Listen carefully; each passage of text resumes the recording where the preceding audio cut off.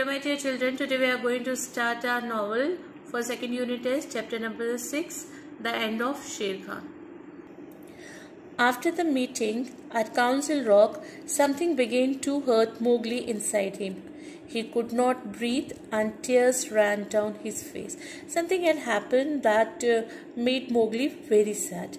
What is this, Bagheera? Am I dying?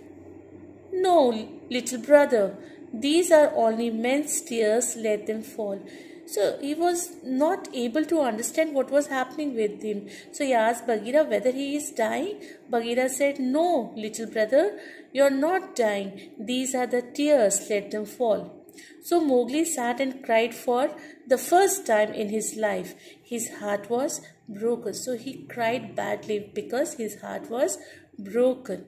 Now I will go to men but first, I must say goodbye to my mother. Now, he decided to go to men, but he said, first of all, I will go and bid goodbye to my mother.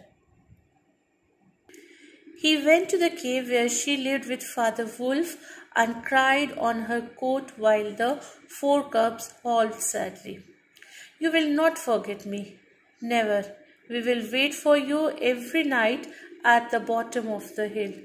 Father Wolf rubbed his nose against Mowgli's face. Come soon, Mowgli, come again soon. Your mother and I are very old. Now, as Mowgli went to the cave to uh, say goodbye to his parents, mother cried, Mother Wolf cried badly. Father was also sad. They said Mowgli to come back quickly as they are very old. They want to see him again. Yes, Come soon, my little son, and remember, I have loved you more than my own cubs. I will come. Don't forget me. Tell them in the jungle never to forget me. Mowgli said, I will definitely come back and ask everybody not to forget me. He left the jungle and walked many miles until he found a village far away. There was a woman in this village named Messua. Many years earlier, a tiger took her boy off into the jungle. Now, after walking for miles, he found a village. So, he went to the village. There, he saw a woman named Masua. So, the village gave Mowgli a place with her and her husband. Now, he started living with uh, Messua uh, because many years um, earlier, a tiger her boy off into the jungle. So villagers decided that Mowgli will live with Masua and her husband. Masua wanted to believe it was her lost son. What the jungle has taken, the jungle has given back. It means many years earlier, jungle has taken the, uh, that Masua's son and again the jungle has returned his son back. Mowgli found men's ways strange.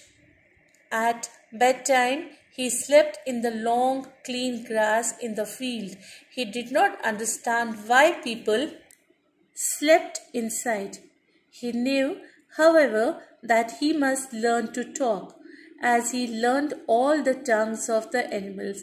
Now he was able to understand the animals' language, but he was not able to speak like other human beings. Now he must learn man's tongue. So he repeated every word he heard Messua speak.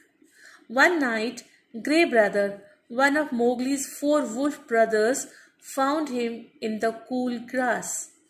Wake up, little brother, I bring news. Mowgli was very happy to see him. Is everyone in the jungle well? Grey brother.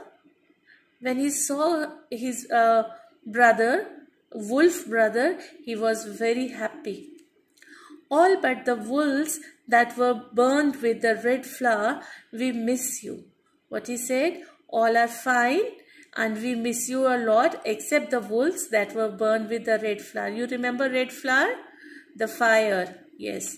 We remember the days in the cave as cubs together. We remember the years we five grew up in the jungle together. But listen, Sher Khan has gone away for a time. However, he will be back again to kill you. He said, We miss each and every moment that we have spent together. And let me tell you one thing Sher Khan has gone away for some time, but definitely he is going to come back to kill you. When I come again, I will wait for you in the bamboos. We will talk of what is new. For three months, Mowgli stayed in the village learning how men lived.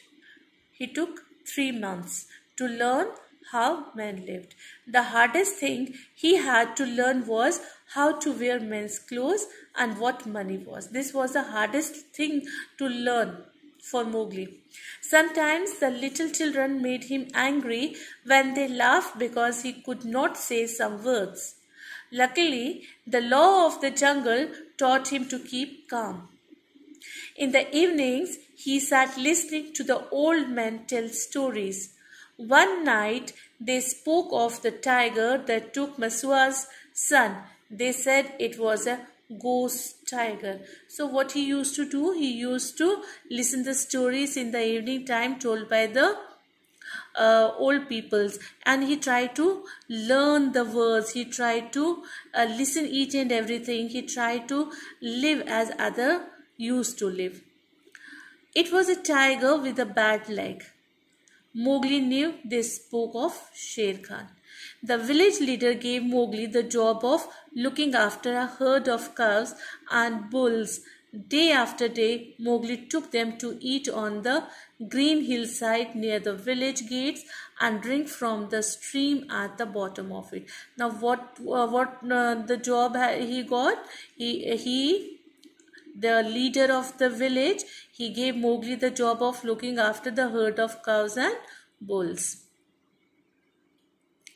He met Grey Brother many times and they spoke of Sher Khan one day, Grey Brother came with Akela and they had news. I have heard Sher Khan tell his plan to a jackal. He will wait for you at the village gate this evening. Now he is resting by the stream at the bottom of the ravine. Ravine means a narrow deep valley with steep sides. Has he eaten? He killed early this morning. He drank water too.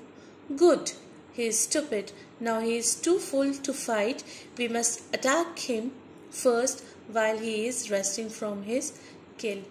So when uh, Mowgli came to know about Sher Khan's plan, what he said that he is stupid. He won't be able to fight. So what we are going to do, we will attack first. Mowgli jumped on the back of one of the great bulls and gave the orders.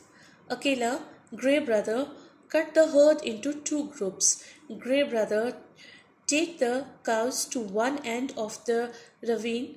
Akela and I will take the bulls to the other. More quietly until you get there. Watch my hand. When I wave, we will attack.